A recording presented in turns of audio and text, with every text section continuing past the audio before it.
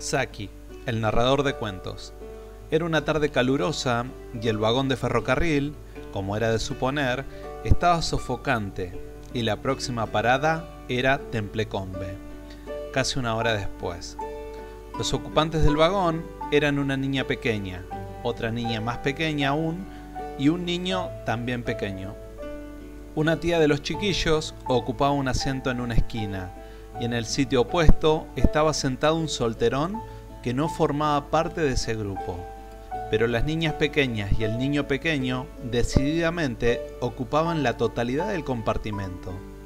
Tanto la tía como los niños eran conversadores, de una manera limitada y persistente que recordaba las atenciones de una mosca doméstica que se niega a ser desalentada. Casi todas las frases de la tía parecían comenzar con las palabras no lo hagas. Y casi todos los comentarios de los niños comenzaban con ¿por qué? El solterón no decía nada en voz alta. No lo hagas, Cyril, no lo hagas, exclamó la tía cuando el niño pequeño comenzó a aporrear los almohadones del asiento, produciendo una nube de polvo con cada golpe. Ven a mirar por la ventanilla, agregó. El sobrinito se acercó a regañadientes a la ventanilla. ¿Por qué están sacando esas ovejas de la pradera? preguntó. Supongo que las están conduciendo a otra pradera en la que habrá más pasto, dijo la tía débilmente. Pero hay mucho más pasto en esa pradera, protestó el niño. Lo único que hay es pasto. Tía, hay mucho pasto en ese campo. Quizás el pasto del otro campo sea mejor, sugirió ilusoriamente la tía. ¿Por qué es mejor? Fue la rauda e inevitable pregunta. ¡Oh! ¡Miren esas vacas! exclamó la tía. En casi todos los campos, a lo largo de la vía férrea, había vacas o novillos, pero la mujer habló como si les estuviese mostrando una rareza. ¿Por qué es mejor el pasto del otro campo? persistió Cyril. El ceño fruncido del solterón estaba comenzando a tomar mal cariz. La tía decidió para sus adentros de que se trataba de un hombre duro y antipático le fue completamente imposible llegar a una decisión satisfactoria con respecto al pasto del otro campo. La niña más pequeña cambió de tema comenzando a recitar En el camino a Mandalay. Lo único que sabía era el primer verso, pero puso su limitado conocimiento al servicio de la mejor interpretación. Repetía el verso una y otra vez con una voz soñadora, pero muy audible. El solterón tuvo la sensación de que alguien habría apostado a que ella no sería capaz de repetir ese verso dos mil veces en voz alta sin detenerse. Quien quiera que hubiese realizado esa apuesta corría serio peligro de perderla. Vengan para acá a escuchar un cuento, dijo la tía después de que el solterón la hubo mirado dos veces a ella y una al pasillo del tren. Los niños se acercaron con indiferencia al rincón ocupado por la tía. Evidentemente, en opinión de los tres, su reputación como narradora de cuentos dejaba mucho que desear. En voz baja y confidencial, interrumpida frecuentemente por fuertes y petulantes preguntas de sus oyentes, la mujer comenzó a contar una historia poco movida y con una deplorable carencia de interés, referente a una pequeña niña que era buena y se hacía amiga de todo el mundo gracias a su bondad y que finalmente era rescatada del ataque de un toro furioso por una serie de personas que admiraban sus cualidades morales. ¿Y si ella no hubiese sido buena, no la habrían salvado? Quiso saber la mayor de las niñas pequeñas. Era exactamente la misma pregunta que el solterón hubiera querido formular. Bueno, sí, admitió la tía débilmente, pero no creo que habrían corrido en su ayuda con tanta rapidez si no la hubiesen admirado tanto. Es la historia más estúpida que he oído en mi vida, dijo con total convicción la mayor de las niñas pequeñas. Era tan estúpida que yo dejé de escuchar después de las primeras frases, dijo Cyril. La niña más pequeña no hizo ningún comentario sobre el cuento, pero hacía rato que había comenzado una murmurada repetición de su verso favorito. Usted no parece ser una narradora de cuentos muy exitosa, dijo repentinamente el solterón desde su rincón. La tía se puso de inmediato a la defensiva ante ese ataque inesperado. Es muy difícil contar cuentos que los niños puedan entender y apreciar, dijo tiesamente. No estoy de acuerdo con usted, contestó el solterón. A lo mejor a usted le gustaría contarles un cuento, fue la réplica mordaz de la tía. Cuéntenos un cuento, rogó la mayor de las niñas pequeñas. Había una vez, comenzó diciendo el solterón, una niña pequeña llamada Berta, que era extraordinariamente buena. El interés que se había despertado en los niños inmediatamente comenzó a debilitarse. Todos los cuentos eran espantosamente parecidos, sea quien fuere quien los contase. Hacía todo lo que indicaban, siempre decía la verdad. No se ensuciaba la ropa, comía los budines de leche igual que si fuesen tartas de dulce. Aprendía perfectamente sus lecciones y era sumamente amable. ¿Era hermosa?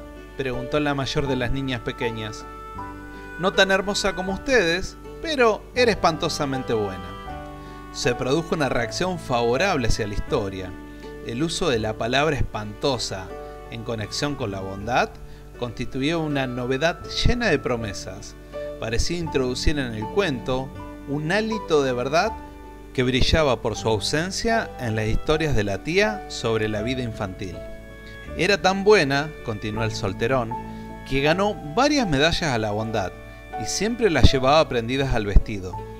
Tenía una medalla por su obediencia, otra por su puntualidad y una tercera por su buen comportamiento. Eran medallas grandes de metal y tintineaban la una contra la otra cuando la niña caminaba. Ningún otro niño de la ciudad tenía tres medallas, de manera que todo el mundo sabía que ella debía ser una niña extraordinariamente buena. Espantosamente buena, citó Cyril. Todo el mundo hablaba sobre la bondad de la niña, de modo que el príncipe del país se enteró y dijo que, ya que ella era tan buena, le permitiría caminar una vez por semana por su parque, que quedaba justo a las afueras de la ciudad. Se trataba de un parque hermoso, al que no se permitía entrar a los niños jamás, de modo que fue un gran honor para Berta que le permitieran ir. ¿Había ovejas en el parque? preguntó Cyril. No, dijo el solterón, no había ovejas. ¿Por qué no había ovejas? Fue la inevitable pregunta que surgió de esa respuesta. La tía se permitió esbozar una sonrisa que prácticamente era una mueca burlona. No había ovejas en el parque, dijo el solterón, porque la madre del príncipe había soñado una vez que su hijo sería matado por una oveja o bien por un reloj que se le caería en la cabeza. Por ese motivo el príncipe no tenía ovejas en el parque ni relojes en el palacio. La tía tuvo que reprimir una exclamación admirativa. ¿Y al príncipe lo mató una oveja o un reloj? preguntó Cyril. Todavía está vivo, de modo que no podemos saber si el sueño se convertirá en realidad, dijo despreocupadamente el solterón. De todos modos, no había ovejas en el parque, pero había muchos chanchitos corriendo por todas partes. ¿Y de qué color eran? Negros con caras blancas, blancos con manchas negras, todos negros, grises con manchas blancas y algunos eran todos blancos. El narrador de cuentos hizo una pausa para permitir que la idea total de los tesoros del parque penetrara en la imaginación de los niños. Entonces continuó. A Berta le dio pena que no hubiera flores en el parque. Le había prometido a sus tías, con lágrimas en los ojos, que no arrancaría ninguna de las flores del bondadoso príncipe, y estaba decidida a cumplir su promesa, de manera que, por supuesto, se sintió tonta al descubrir que no había flores que arrancar. ¿Por qué no había flores? Porque los chanchitos se las habían comido a todas, dijo rápidamente el solterón.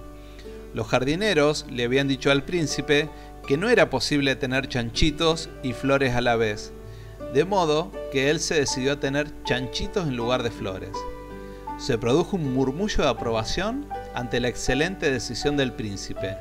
Tanta gente había decidido lo contrario. Había una cantidad de otras cosas maravillosas en el parque. Estanques con peces dorados y azules y verdes, y árboles con hermosas cotorras que decían cosas inteligentes en cualquier momento, y pájaros que canturreaban todas las melodías populares del momento. Berta se paseaba de aquí para allá y se divertía inmensamente, y pensó, si yo no hubiera sido tan extraordinariamente buena, no me habrían permitido venir a este hermoso parque y gozar de todo lo que se puede ver en él.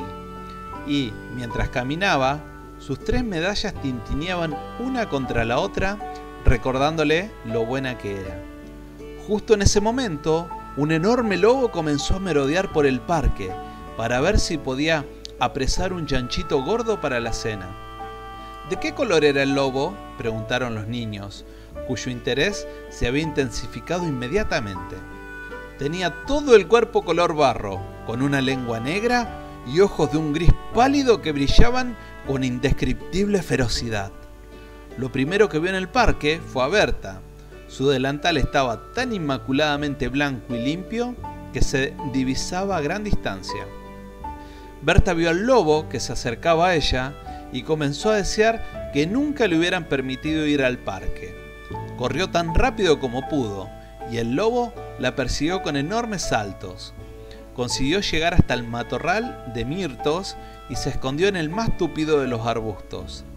El lobo comenzó a husmear entre las ramas, con su negra lengua colgando de la boca y sus pálidos ojos grises brillantes de furia. Berta estaba terriblemente asustada y pensó, si yo no hubiese sido tan extraordinariamente buena, en este momento estaría sana y salva en la ciudad. Sin embargo, el perfume de los mirtos era tan fuerte que el lobo no podía descubrir por el olfato el lugar donde Berta se escondía. Y los arbustos eran tan tupidos que podía haber buscado en ellos durante un largo tiempo sin llegar a descubrirla. De manera que pensó que lo mejor que podía hacer era alejarse y en cambio buscar un chanchito. Berta temblaba como una hoja al ver que el lobo la rondaba y husmeaba tan cerca de ella. Y a causa de sus temblores, la medalla de la obediencia tintineó contra las medallas de la buena conducta y de la puntualidad. El lobo estaba a punto de alejarse cuando oyó el sonido de los metales que se entrechocaban y entonces se detuvo a escuchar volvieron a sonar en un arbusto que estaba muy cerca del lugar en que se encontraba. Se lanzó hacia el arbusto a toda velocidad, los pálidos ojos grises brillando ferozmente y con expresión de triunfo, y arrastró a Berta fuera de los arbustos para devorarla hasta el último bocado. Todo lo que quedó de la niña fueron sus zapatos, algunos trozos de ropa y las tres medallas que había ganado con su bondad. ¿Y no mató a ninguno de los chanchitos? No, Escaparon todos. El cuento empezó mal, dijo la más pequeña de las niñas pequeñas, pero tuvo un final hermoso. Es el cuento más hermoso que he oído, dijo con inmensa decisión la mayor de las niñas pequeñas. Es el único cuento hermoso que he oído en mi vida, dijo Cyril. La tía disentía con esas opiniones. Es un cuento de lo más impropio para niños pequeños. Usted ha minado el efecto de años de cuidadosas enseñanzas.